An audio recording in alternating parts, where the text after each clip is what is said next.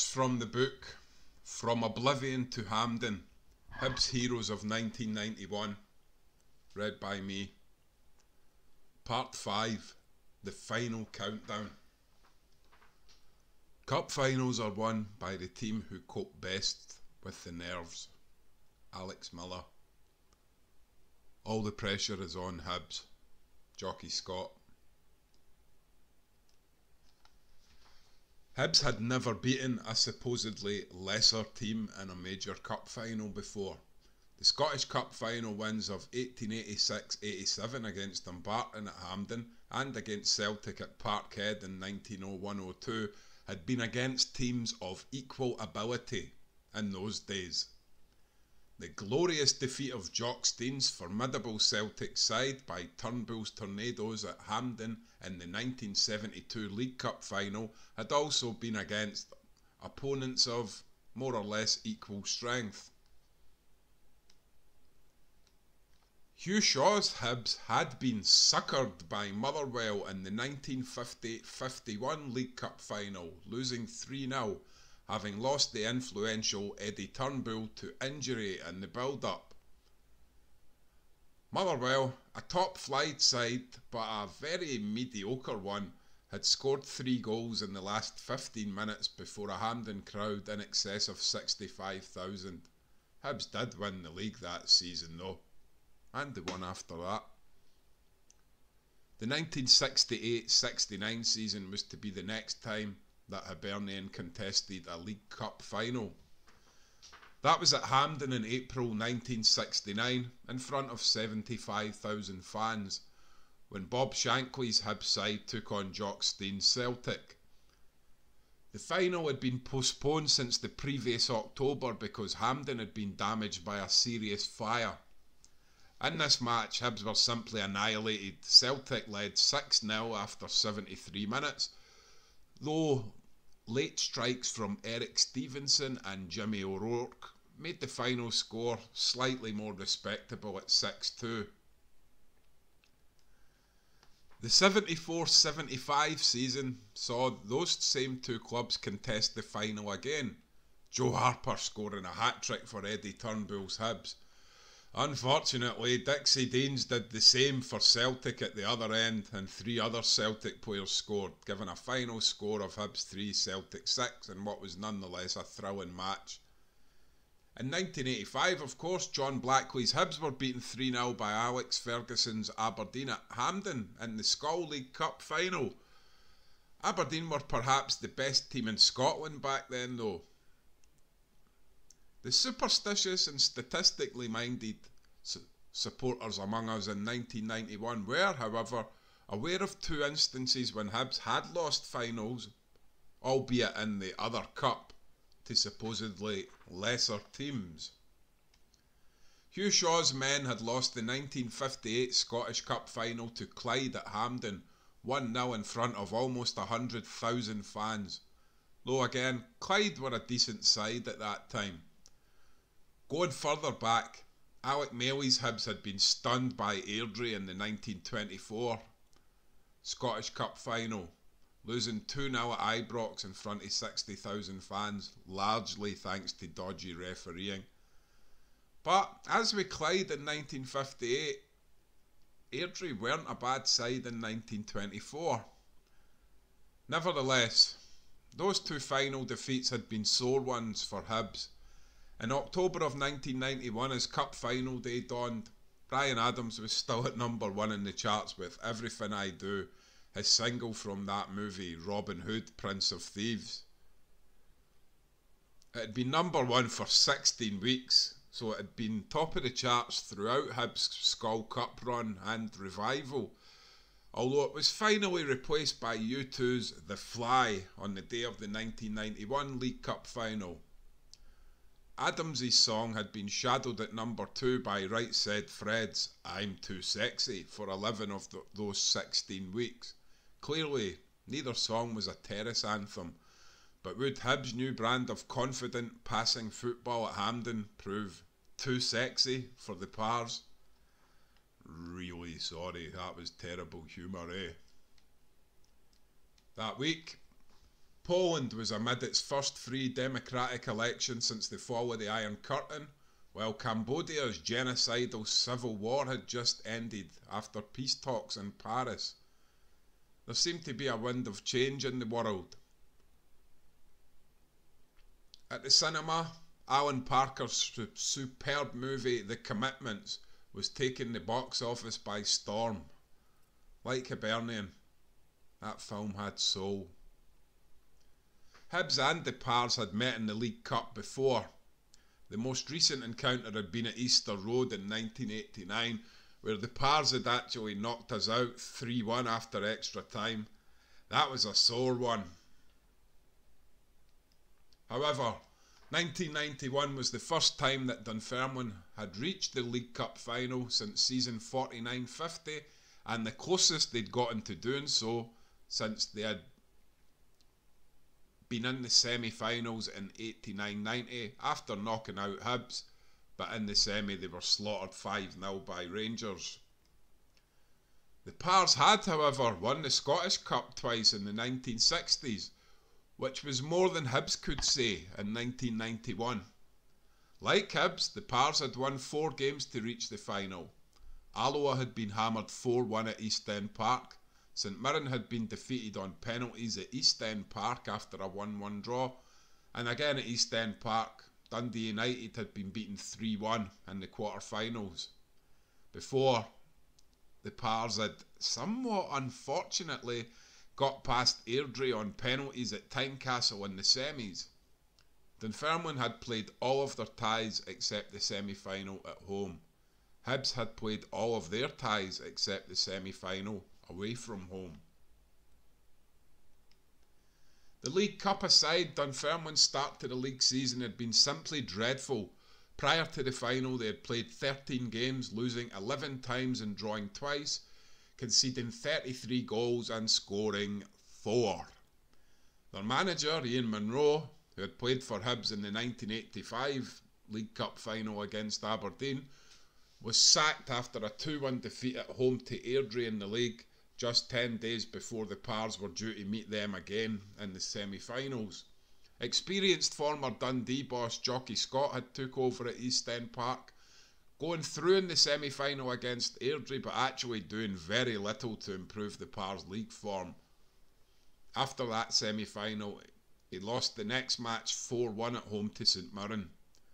Dunfermline's next match after that had been a trip to Easter Road in the league for a cup final dress rehearsal. Fewer than 8,000 fans saw Hibs comprehensively defeat Jocky Scott's side 3 0 with goals from Gordon Hunter, Pat McGinlay, and Keith Wright. Hibs could have won by a few more were it not for Andy Rhodes and Dunfermline's goal. Striker Mark McGraw was taken off with an injury in that match and was ruled out until the end of November. That was a real shame. Hibs were unbeaten in 14 games, but their run came to an end one week after the thrashing of Dunfermline at Easter Road. Alex Miller's men went down 4 2 to Rangers at Ibrox on the 8th of October in a pulsating midweek match in which four of the goals were scored in the last 15 minutes. Pat McGinlay and Mickey Weir had scored for Hibs.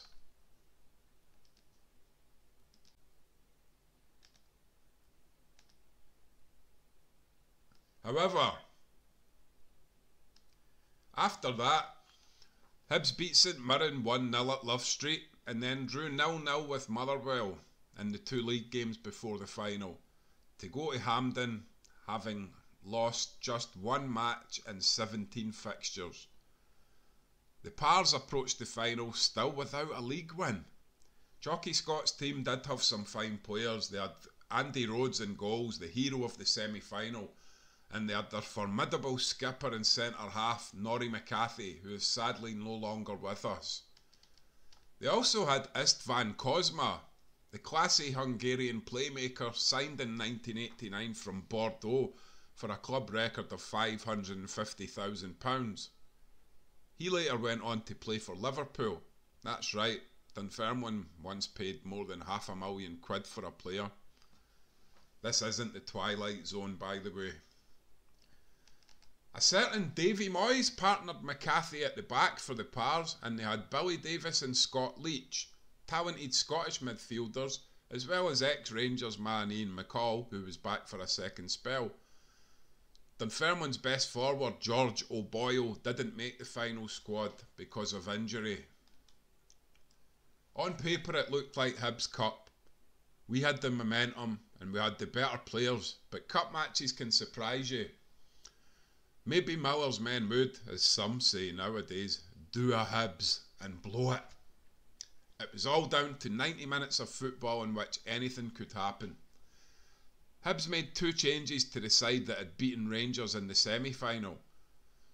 Gareth Evans played from the start in place of the injured Mark McGraw, while new signing Dave Beaumont, yet to make his debut, took Gareth Evans' place beside Neil Orr on the bench.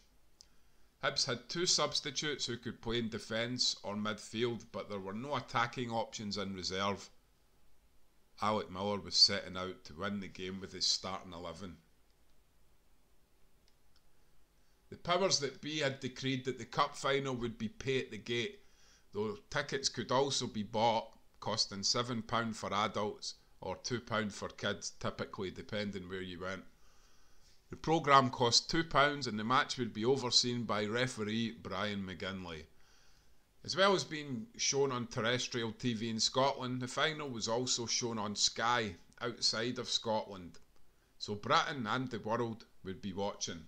The lineups were for Hibs number 1 John Burridge, number 2 Willie Miller, number 3 Graham Mitchell, number 4 Gordon Hunter, number 5 Tommy McIntyre, number 6 Murdo McLeod, number 7 Mickey Weir, number 8 Brian Hamilton, number 9 Keith Wright, number 10 Gareth Evans, and number 11 Pat McGinlay.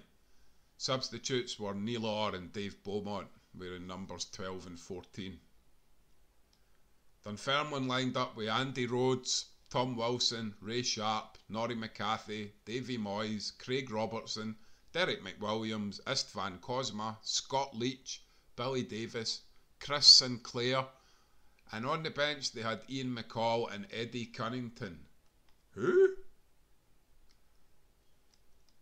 Just over 40,000 people were at Hampden to see Hibs and Dunfermline contest the 1991 Skol League Cup final.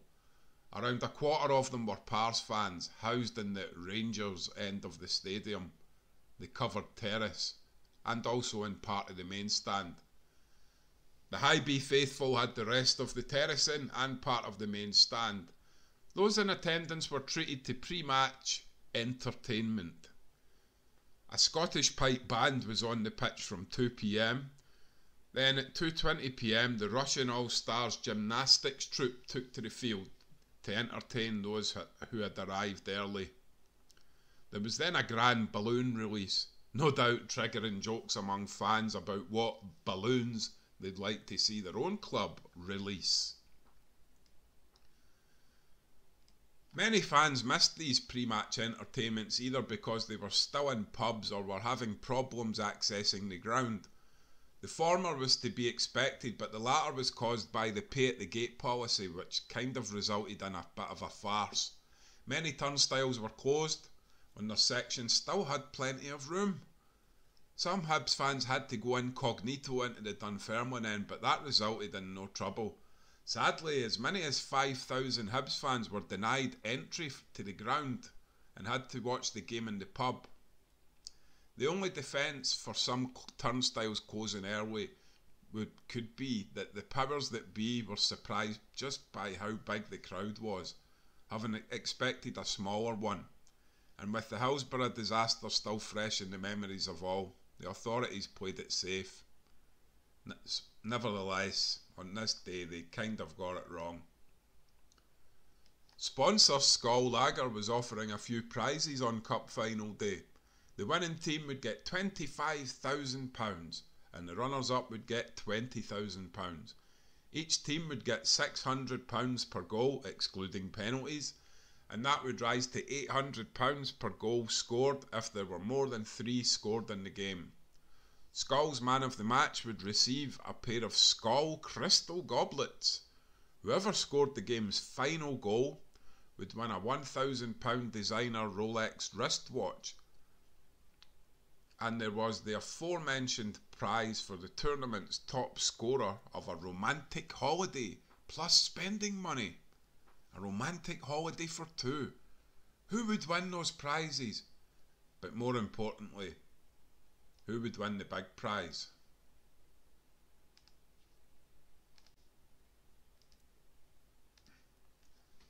The big match, one step from immortality. Dunfermline got the match underway and carved out the first chance. Kozma setting up Scott Leitch for a shot from the edge of the box, which sailed over the bar. It was a nervous start by both teams, who initially looked scared to make any mistakes. Hibs were the first to look genuinely dangerous.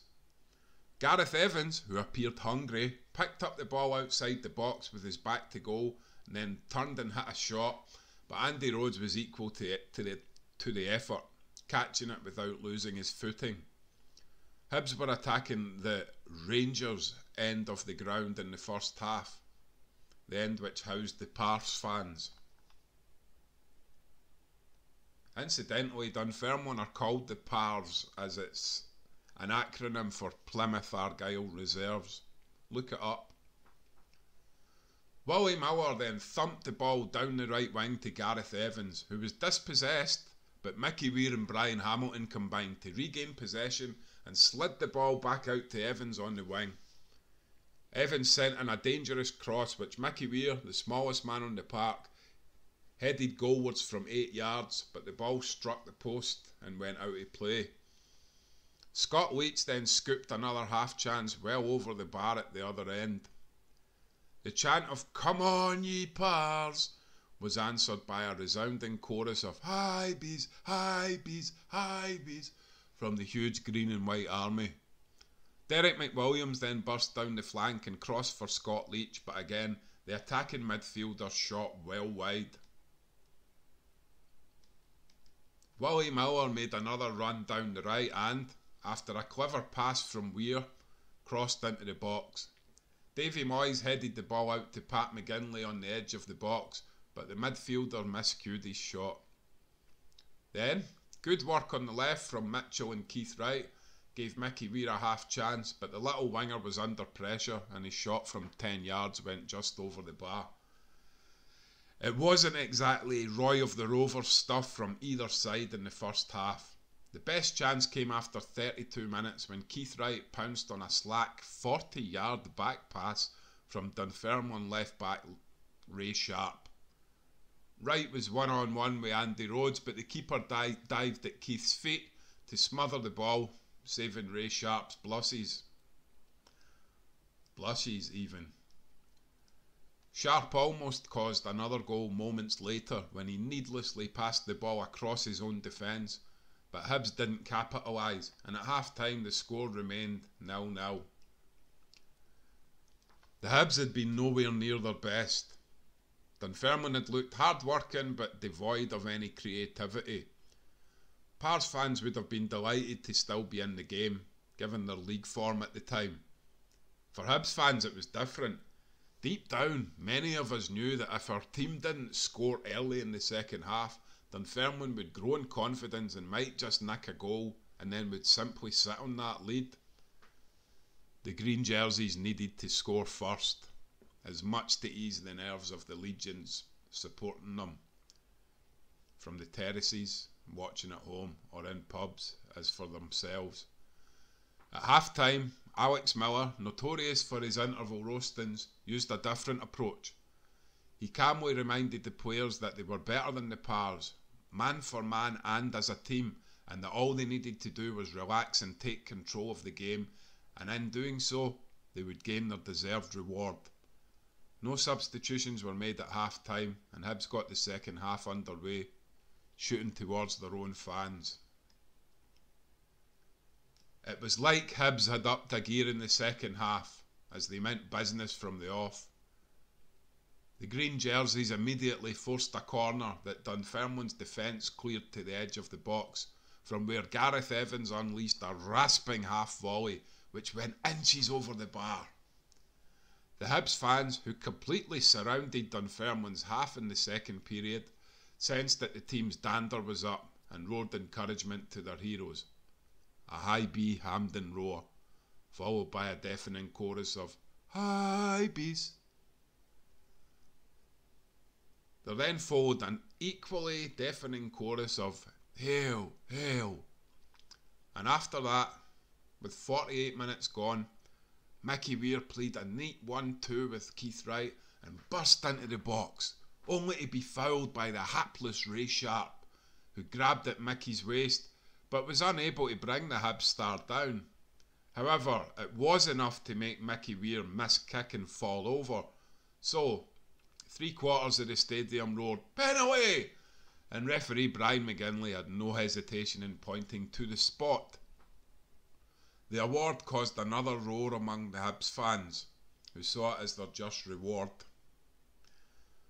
Tommy McIntyre, by prior arrangement with Alex Miller, was the designated penalty taker, having scored from the spot against St Johnstone earlier in the season. This time he was four minutes into the second half of a cup final with a gilt edged chance to put Hibernian 1 0 up. The hopes of over 30,000 fans on the terraces and of thousands of more watching elsewhere were on his shoulders. Tommy had only regained his place in the Hibs team at the tail end of the previous season, having not featured at all in almost two years after being substituted at Hampden in the 1989 Scottish Cup semi final loss against Celtic. The penalty that he was about to take was at the same end of Hampden where he had made mistakes in that game. Dunfermline's Andy Rhodes was a proven penalty stopper and his side wouldn't have been in the final were it not for his heroics in the semi final shootout against Airdrie and in the earlier shootout against St Mirren. It was the most important single kick of a football in the 27 year life of defender Tommy McIntyre. The penalty given instantly by McGinlay, by referee McGinlay. So Andy Rhodes has yet to be beaten from a penalty kick in open play this season. Here's Tommy McIntyre. The record is gone. The Hibs take the lead. Tommy McIntyre, after four minutes of the second half, put Hibs in front.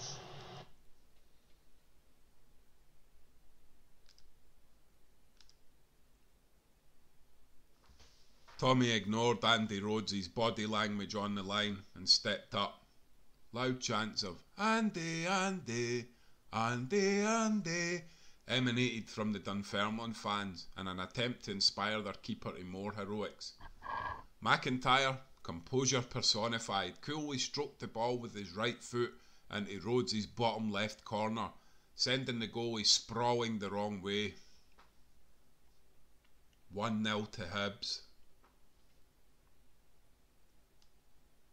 The Hibs support erupted, and some say the cheer could be heard for miles. So overjoyed and relieved we were that our heroes had taken the lead. The pressure was off Hibs. The pressure, too, was off Tommy McIntyre, who with that one shot exorcised the ghosts of his and the team's 1989 Hampden disappointment. The joy and relief on his face were evident as he was mobbed by jubilant teammates delighted for him as much as they were for Hibs and the fans. From then on in, it was all about the Hibs.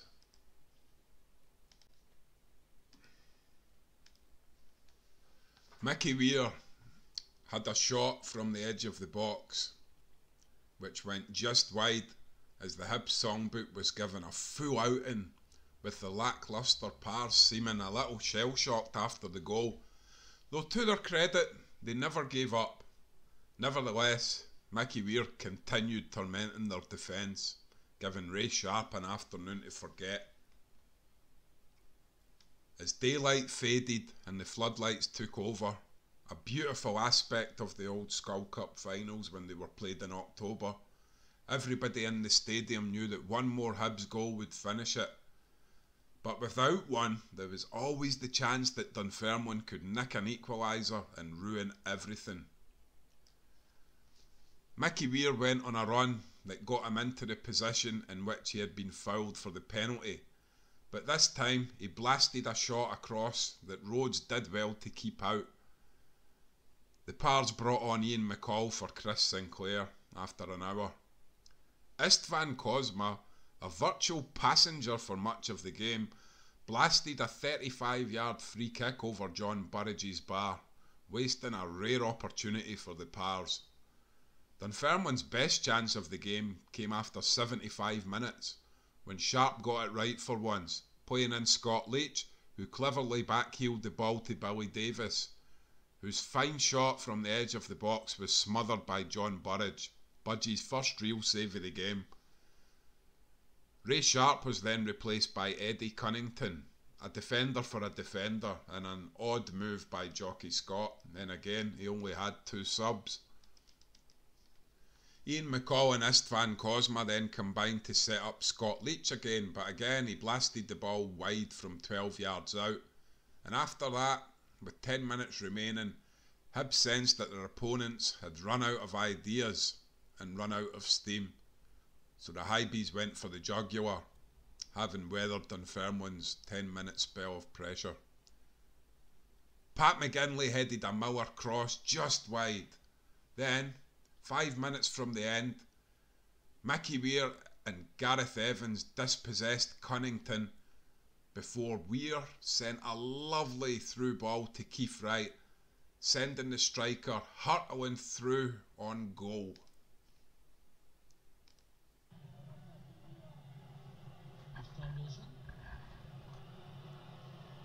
Cunnington.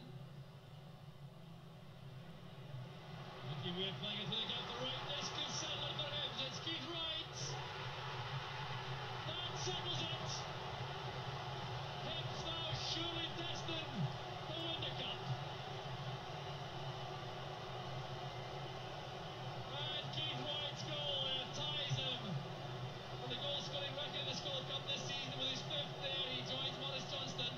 That won't matter then right now. What matters is that it looks as though the cup is going to Easter Road. Mickey Weir with that delicate pass. Keith Wright bringing behind Larry McCarthy, looking at measuring a finish, and Rhodes was left without a hope.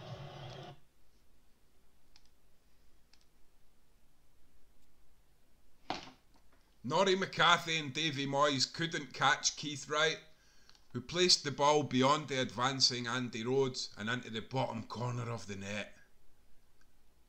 2 0 to Hibs. The Hibs fans erupted in rapturous joy as Keith ran towards them with his arms in the air with his trademark celebration before his teammates caught up with him and mobbed him with their congratulations and one of those big footballer group hugs. Alec Miller had looked pleased but still on edge after McIntyre's opener. But then, when Keith Wright's shot hit the back of the net, the Hibs manager was jumping around for joy, punching the air and shouting with excitement like a giddy child. Not your usual impression of the old gaffer, is it? Alex Miller knew that the game was up, but Hibs still pushed for more as the dejected Pars' heads went down. The Pars players knew it was all over, yet they still had four minutes plus stoppage time to play. In those four minutes, Brian Hamilton smashed a 25 yard thunderbolt off the post, the ball having been rolled to him by Mick, Mickey Weir from a free kick just outside the box. And then Pat McGinlay volleyed a Graham Mitchell cross just wide. The Pars lumped the ball forwards in the dying seconds in a bid to take the pressure off, and Gordon Hunter, with the last kick of the game, booted the ball clear as Brian McGinlay blew the final whistle. In that instant, with that whistle, all of the pain, heartbreak, fear, and misery that had clouded Hibs in the previous season and even in the run up to the current campaign instantly became just a memory. The green jerseys had triumphed, not just over Dunfermline Athletic or the other four teams whom they had eliminated from the tournament, but over adversity itself. It finished Hibernian 2, Dunfermline Athletic nil. Hibs had won the League Cup. From sheriff's officers at Easter Road back in July to Hampden Glory just four months later, the Hibees had bounced back in dramatic fashion, winning theirs and Edinburgh's first major trophy in 19 years and qualifying for the UEFA Cup in the process. It was as much a victory for the fans too, who had been through so much and had endured uncertainty, snide jokes, and taunts for a year. But it was the cabbage who were laughing now, because Hibs were back from the brink, from zeros to heroes. The trophy was in the bag and there were still no cups in Gorgie. Wallace Mercer's theory that Edinburgh's clubs couldn't enjoy success on their own had been blown to pieces. Back then, Hampden Park didn't stage manage cup wins with piped music on the PA like it does now so there was no single rendition by Hibs fans after the game. Instead, many different songs were being sung all across the terraces by large groups of Hibs fans at different times, creating a real carnival atmosphere on the Hampden terraces and in its rickety old main stand. There was a huge, rapturous cheer once more as the heroes in green climbed the famous Hampden steps to receive the two trophies and their, and their winners' medals. Skipper Murdo McLeod held the League Cup aloft, and the fans erupted once more. He and Willie Miller grabbed the League Cup and the Skol Cup and made their way back onto the pitch, denying the other team members a chance to hold the cup aloft to the fans. But in truth, after everything that had happened, no one was bothered about that. One song stood out after the final whistle at Hampden that day. Champions, champions. It was more or less constant at each point in the stadium at some point where the Hibs fans waited to salute their victorious conquering heroes. Alex Miller's Green and White Army also got a loud airing, which must have pleased the boss. Just a few months Previous to that success, some fans had still been calling for his head. Alex Miller had proved them wrong. So wrong. Hibs had done it in one of the most remarkable episodes in Scottish football's history. They'd been 40 to 1 to win the cup when the tournament began, and legend has it that the players even had a cheeky wee collective modest bet on themselves to win it at those odds. Keith Wright was a hero, having scored in every round and he'd sealed the win on the day, becoming the tournament's joint top scorer with Mo Johnston on five goals each. Thankfully, the sponsors didn't make Keith and Mo go on that romantic holiday prize together. Instead, sensibly, Skol gave each of them a holiday. Keith also received the limited edition Rolex watch for score, scoring the tournament's final goal, Mickey Weir was the man of the match and thus won a pair of stylish Skol crystal goblets. His trickery, vision, and tenacity and skill had been too much for Dunfermline's defence and too much for the defences of the teams in the previous four rounds. Keith Wright and Mickey Weir would go down in history as the Cup wins big stars, but perhaps the other individual hero was the man from Motherwell, Tommy McIntyre, who had showed great courage, composure, and maturity to, Gibbs to give Hibs the lead. In truth, though, they were all heroes. The defence had soaked up everything thrown at it in every round of the tournament. John Burridge had been the experienced head between the sticks that the team needed. Hibs midfield had, in every round, won all of its personal duels and had played for each other. The strikers had provided the necessary goals and running, and manager Alex Miller had masterminded the whole glorious affair. There was wee, one tiny wee odd point. Dave Beaumont, through no fault of his own, picked up a winner's medal despite not playing in the match and not even having made his Hibs debut yet, while Mark McGraw, a key player in three of the rounds, didn't get a medal because he was out injured for the final. Callum Milne had also played well in two rounds but got no medal. Neil Orr did get a medal as he was on the bench, but he'd also done his bit in the earlier rounds. Davy Fellenger, who had only played after coming on as a substitute late in the win at Rugby Park in round three, also got no medal. Perhaps everyone who featured for Hibs in the turn- tournament deserved one, but at the time the, that wasn't how the SFL's rules went. Dunfermline had tried hard, but were ultimately no match for Hibs, and they were lucky to have not conceded more goals, although they were able to hold their heads high, as were their fans who sang throughout the match. Dunfermline only managed one shot on target to Hibs six, with seven off target to the Victors nine. Ist- Istvan Kozma and Ray Sharp were their worst performers by far. Kozma had the ability but was too lazy to use it, well, Sharp had the energy but not the ability. Norrie McCathie was probably Dunfermline's best player that day, desperately trying to hold his beloved team together, but that wasn't enough. After team photos with the trophy and a lap of honour by the victorious players, Hibs fans, coaches, and players alike suddenly realised that they faced a desperate dash back to Edinburgh to see the cup brought back to Easter Road on an open top bus. Again, something which had been unthinkable even six months earlier. So, a green and white tide ebbed westwards, back to Scotland's capital, back to that beautiful wee stadium that sits in the shadow of Arthur's Seat, back home to Easter Road for a party. It was to be a party such as most had never been to before. Hibernian FC had walked through the storm with their heads held high and had never walked alone. That song, with many others, would soon be echoing around Edinburgh and Easter Road on that October Sunday night in 1991. After Hibernian, the team that would not die, and its fans got ready to celebrate Edinburgh style. Those players were immortals now, heroes to young and old alike, and will never be forgotten.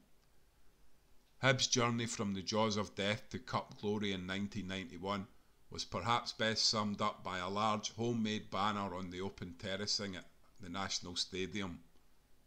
It simply read, From Oblivion to Hampden.